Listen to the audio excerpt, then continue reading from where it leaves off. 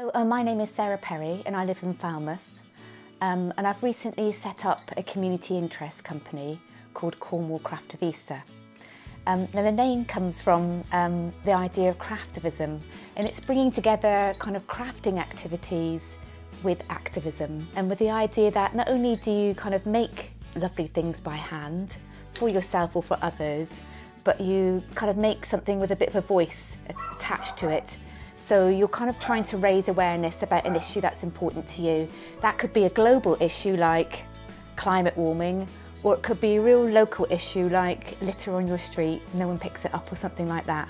I love it because it's about being creative, um, it's about making something, it's about participating in your community, and, and raising awareness about an issue that's important to you. My background is health research and I'm a clinical psychologist, so mental health has always been important to me.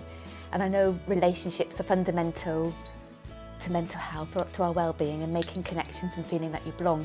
So I kind of thought, well, if I want to do craftivist projects, I've got to practice what I preach. So I've got to start on the street that I live on.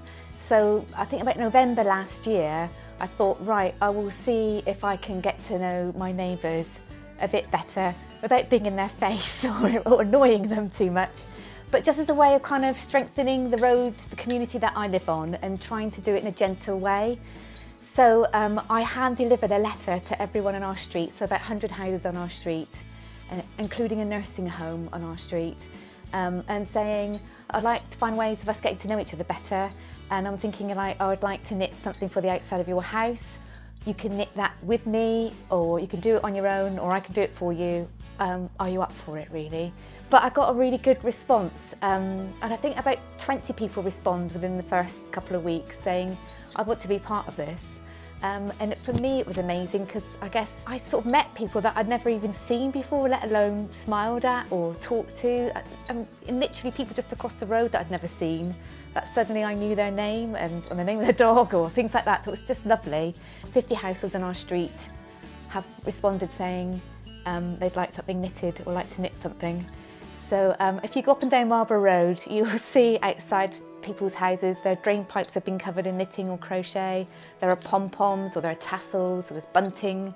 And I guess it's just about getting a sense of belonging, that this is what Marlborough Road is about. So I go into the nursing home once a fortnight now and there are elderly people in there making pom-poms or knitting. Um, and, and so we're very much a part of the street. Um, and then a group of people who said they'd like, we'd like to knit something for the Bowley, which is the park just down the road, the play, play park. So we're going to knit arms for the outside of the park and have lots of gloves and it's a way of saying everyone's included here. I applied for National Lottery community funding and I heard in January that they've been awarded us some money to do something similar in three streets in Falmouth.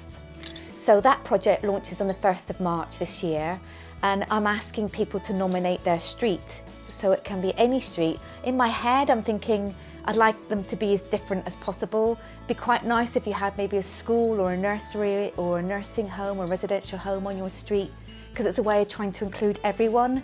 We will pick three streets in Falmouth by the end of March and then I'll be going in regularly to that street once a week for about six months to decide with people on that street what, we, what they'd like to do, what we'd like to knit and raise awareness about for those people on that street.